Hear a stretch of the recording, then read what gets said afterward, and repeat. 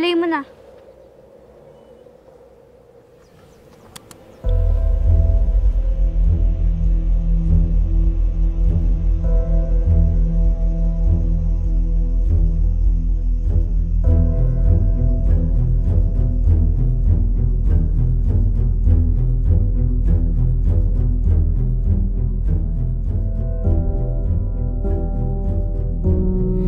Nangyari? Hindi ko alam. Tama nga yung kutob ko. Nasundan nga tayo. Dito ko nakita yung Hello Kitty video sa part na to. Try mo yung fast forward.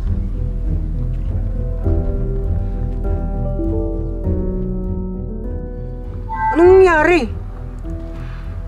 Battery low? Full charge to ah. Oo, oh, kita ko rin kanina pagbukas mo. So scary naman.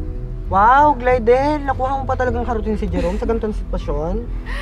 Sorry, na-carried away lang kasi ako.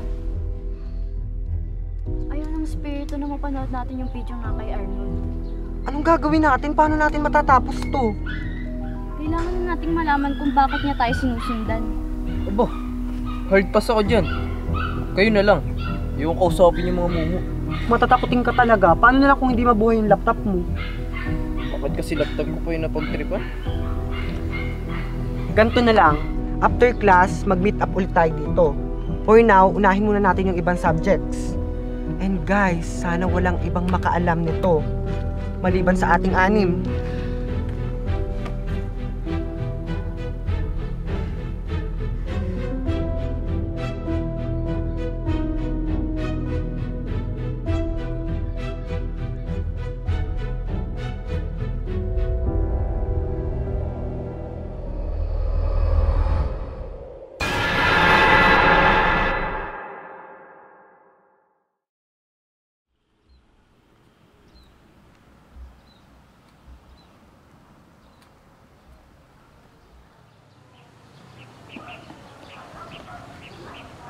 To?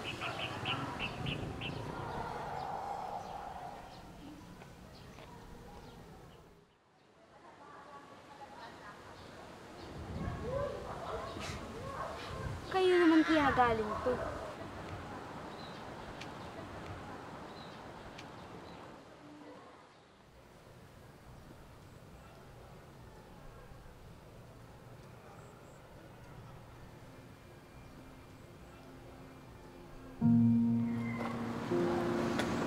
Bakit hindi mo lapitan? Gustahan tayo. Kapag ikaw lumapit, siya pakikiligin. Alam ko naman yun, kaso nahihiya talaga ako. Bakit ka naman nahihiya? Siya nga hindi nahihiya sa'yo eh. Eh, magkaiba kami ng sitwasyon. eh. Siya, vocal, tapos ako, eto, tahimik lang. Halata nga. Bakit ganyan ka makatitig? I'm just wondering, paano ka kaya kiligin? Kasi tuwing nilalambing ka naman ni Glidel, naka-poker face ka lang. Kailangan ba pag kinikilig, obvious? Hindi nga obvious sa'yo, kaya nga nagtatanong ako, di ba?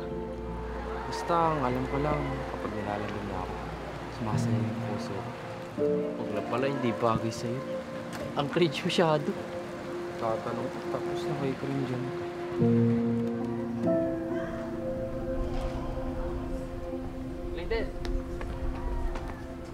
Ba't nandito ka? pakay mo. Hi, Jerome! Kawawa, hindi pinansin. Papansin kasi. Ah, talaga ba, Arnold? Kwento mo sa pagong. Kinukwento ko na nga sa'yo eh.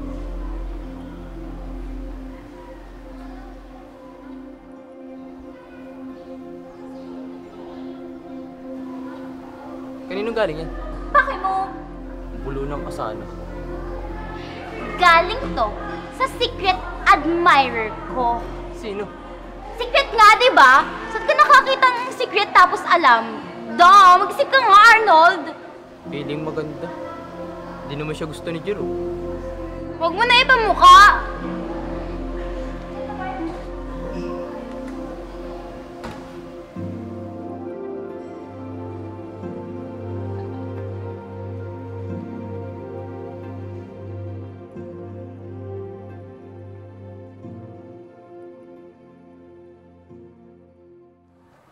Nag-research ako about sa mga multong hindi matahimik.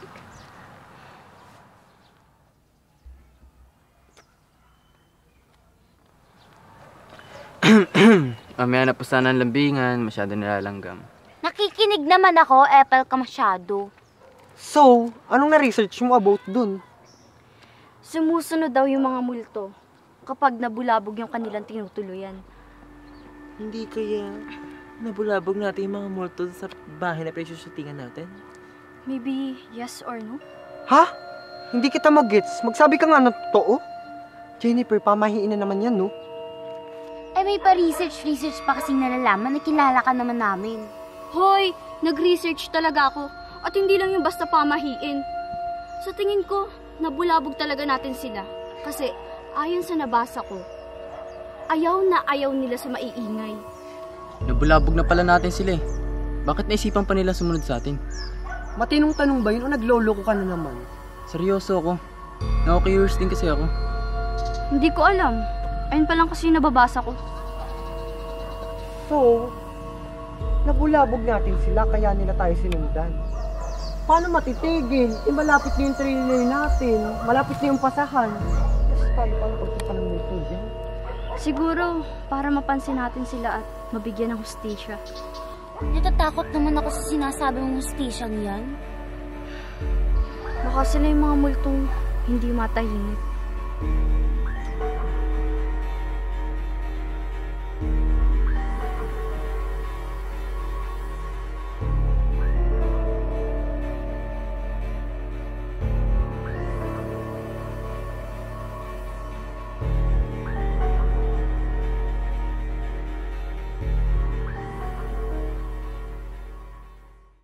Naging busy kami sa school kasi super daming project and that's all, gorgeous. Bye! Ganda ko talaga.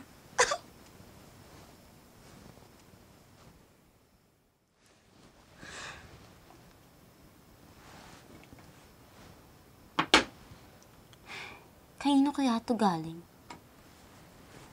Mas maganda sana kung kay Jerome to. Pero imposible namang si Jerome yun. Iniisnab nga lang ako nun eh.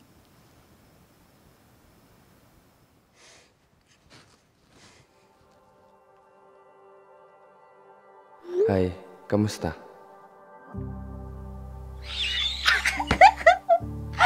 OMG! Si Jerome ba talaga to? Like, chinat ako ni Jerome?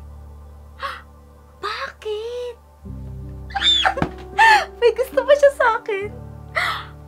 OMG, I cannot! Sorry, wrong send. Wrong send?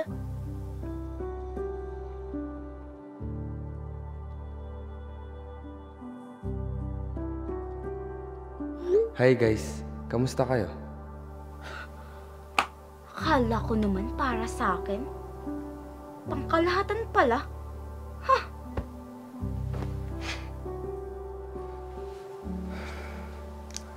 Nakahalata kaya siya? Hindi naman siguro.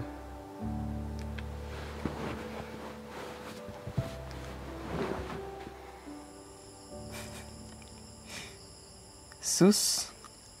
Halata namang gumagawa lang ng alibay.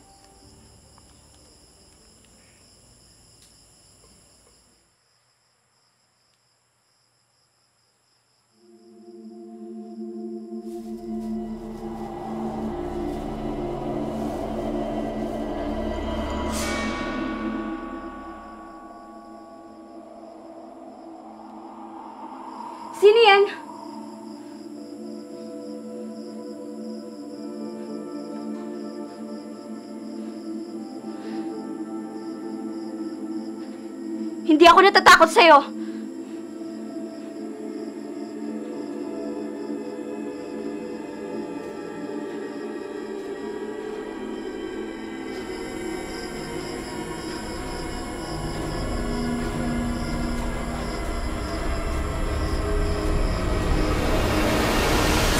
Anak.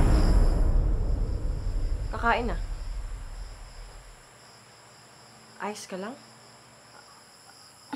Opo, ma. Susunod na lang po ako. Sigurado kang ayos ka lang, ha? Opo.